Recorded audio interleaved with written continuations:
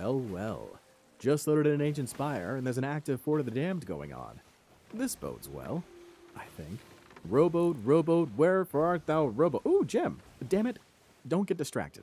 You know, Crook's Hollow is a very apt name when you think about it. Nice, got a rowboat. No shark or siren alarms here. Okay, so it's a galleon. 1v4. You got this, Jon. You've prayed to the ancients recently, right?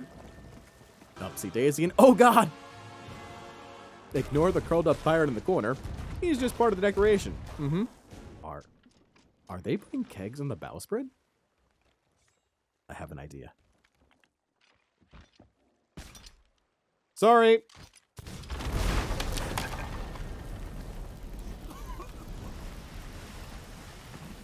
I can't believe that worked.